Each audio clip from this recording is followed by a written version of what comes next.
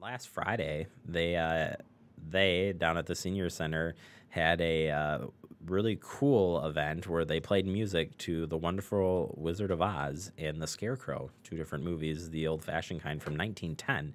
And here's a little sound from that.